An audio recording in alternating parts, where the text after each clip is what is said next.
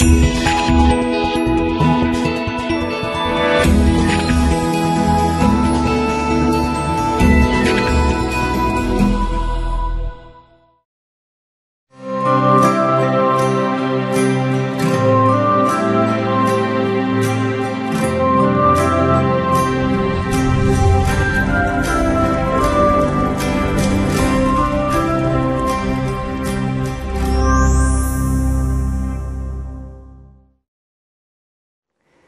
皆さんこんにちは。八尾福音教会あけぼのチャペルの伊藤勝利です。今日は2月1日土曜日です。そして今日の聖書の箇所はサムエル記第11章の1節から18節まで。そして今日のテーマは苦しみの中で出ていく祈りの場。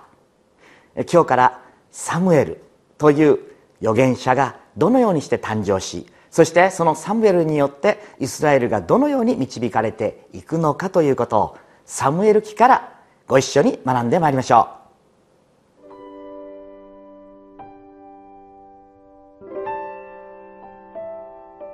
サムエル記第一、一章、一節から十八節。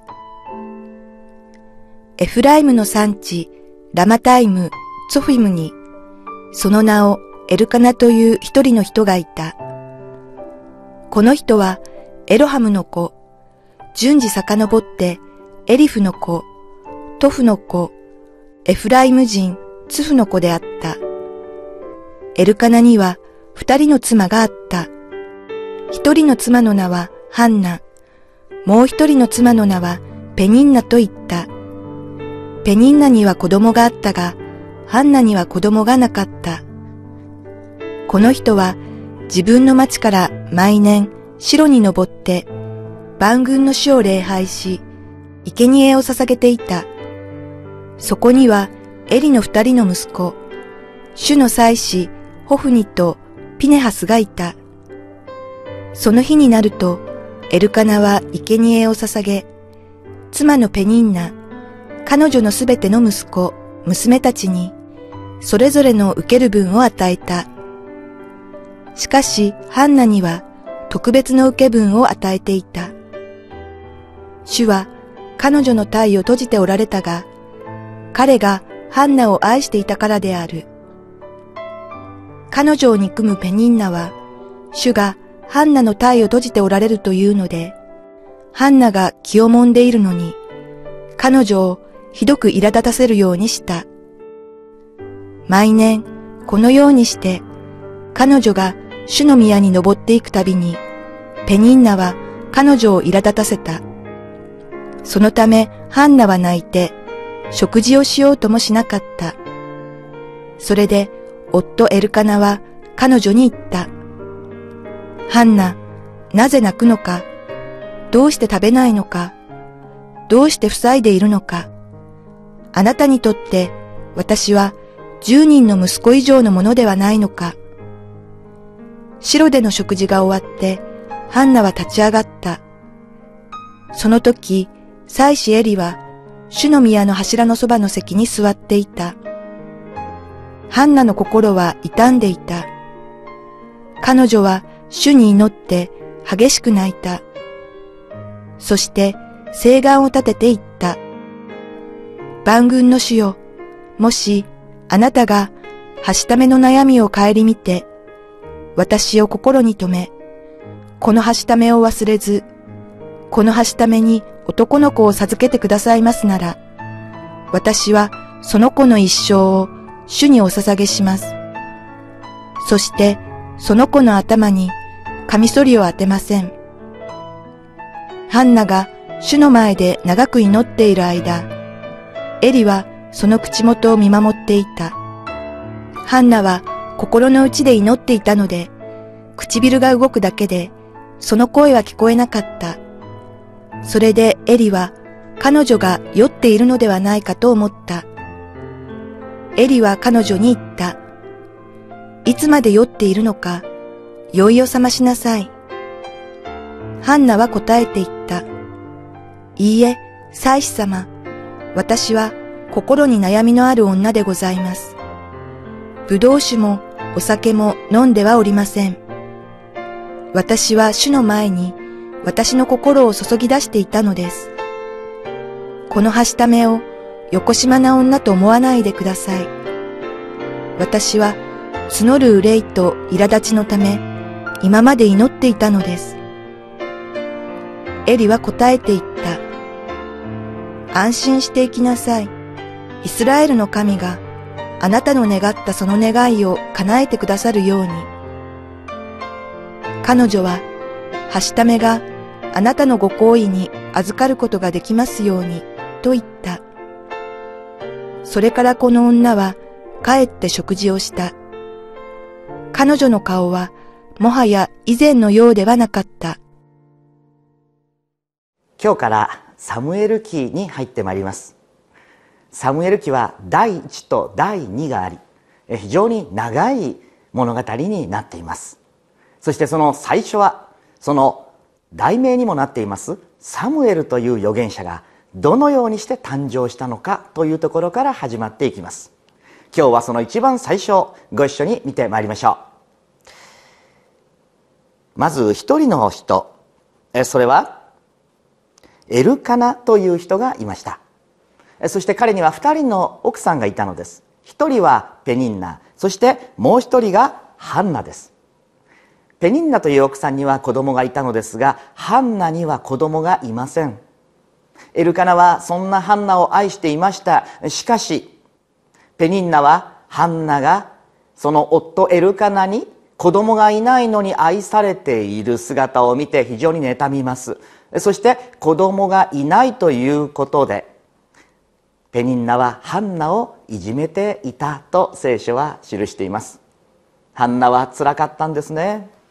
この当時は特に女性が子供がいないということは大変辛くまた立場のないことでもありました。ですからハンナは苦しくてたまりません。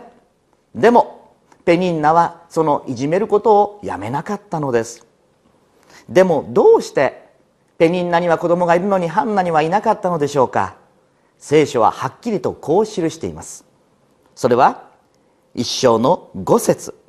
主は彼女の体を閉じておられた。そうなのです。たまたま子供がなかったのではないのです。ハンナには神様のご計画があって体が閉じられていた。と聖書にははっきりと記されています。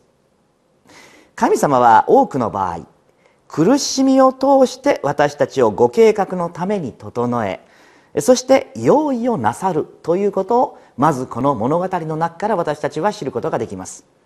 神様はあえてハンナの体を閉じておられたのです。そこには彼女がどんなに苦しくて辛いかということを神様もご存知でした。しかし意味と目的があったということなのです。神様はなぜそのようなところをお通しになるのでしょうか？それは私たちは苦しまなければなかなか自ら自分で主の前に心を注ぎ出すということがないのです。この後ハンナは神様の前に出ていきます。そして涙ながらに祈るのです。自分の辛い気持ちを神様に訴えるのです。それを見た妻子エリは彼が彼女が酔っ払っているのかと思うほどでした。それほどにうめいて神様の前に切に祈っているその姿はまさに神様がそうその姿を待っていたとおっしゃるその姿だったのです。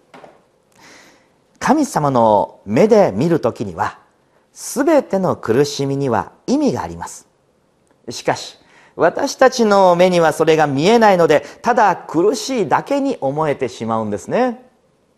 で確かにこの意味がわからない苦しみというのは心を大変消耗させます。まだ意味が分かっていれば耐えることもできる。でもなぜその意味がわからないほど辛いことはありません。ですから私たちはその意味を知りたいと神様に願います。しかし神様の答えはその苦しみの意味を教えてくださるのではなくこうおっしゃいます。私を信頼して任せてくれないかと。神様はいつもそうおっしゃるのです。私たちは理由を知りたいのです。でも神様はなかなか教えてくださらないのです。それよりも任せてほしいと私たちに神様は願っておられます。ここに神様の思いが現れていると言えるでしょう。信仰とは実は自分の願い事が必ず叶うと信じることではありません。もしそうであるならば信仰はかなり自分勝手なものでもありえますよね。しかし信仰とは神様を信頼してお任せすること。これを本当の信仰と呼ぶのです。ですから苦しみの真っ只中で神様にお任せすることができるならばまさにそれが信仰による心の態度と言えるでしょうね。しかしこれは口で言うのは正しい。非常に簡単です。たやすく言えます。でも実際にはなかなかできるものではありません。任せられたら苦労はしないんです。しかし人はみんな誰だって苦しい真っ只中にある時には早くそこから抜け出したい。そしてせめてもその苦しみの理由を知りたい。そう思うのが当然のことですよね。任せなさい。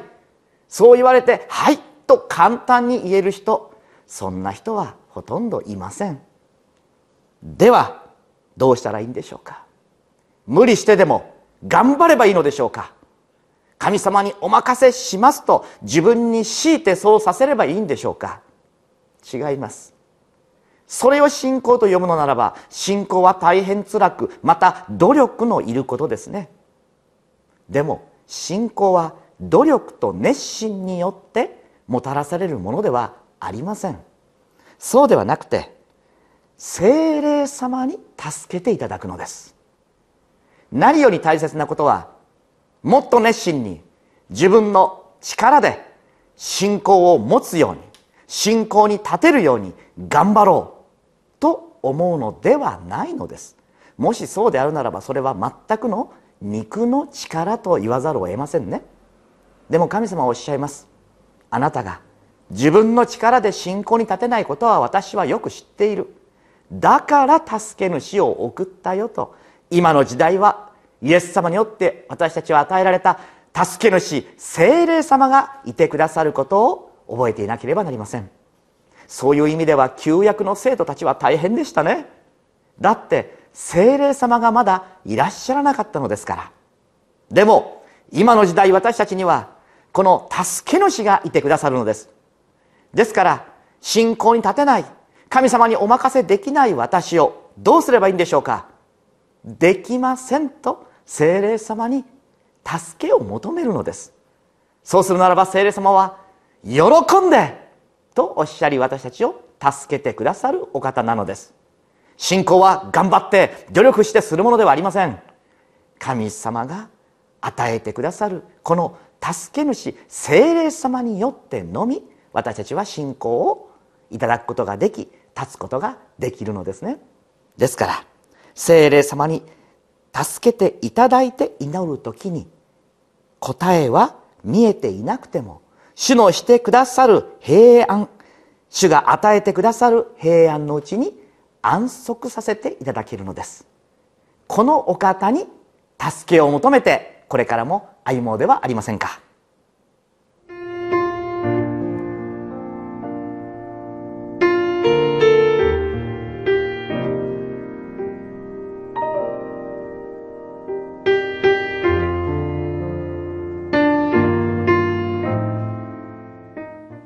聖霊様は信仰に立つことができない信仰を持てない私たちを助けてくださる助け主なのです。ですから素直に助けを求めればよいのです。頑張る必要はないのです。努力で信仰に立とうとしなくてもよいのです。努力でもししたとしてもそれは結局自ら自分を誇ることになってしまいます。聖霊様は私たちを助けたいと願っておられるのです。どうぞ今苦しみの中にある方そして神様にお任せすることに難しさを感じておられる方何とか信仰に立とうと努力しないでください。すぐ精霊様に助けを求めてください。すぐ助けてくださりそしてあなたの心が平安で守られるように精霊様はご一緒にいてくださいますから。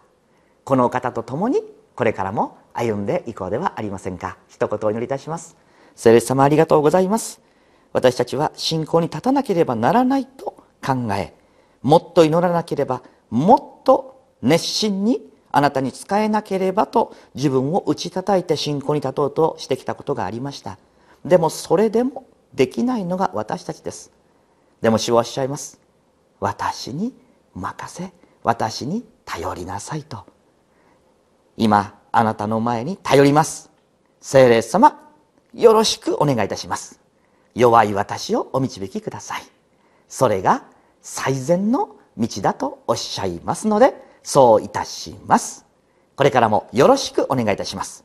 主イエス様のお名前でお祈りいたします。アーメン。神様の祝福がありますように。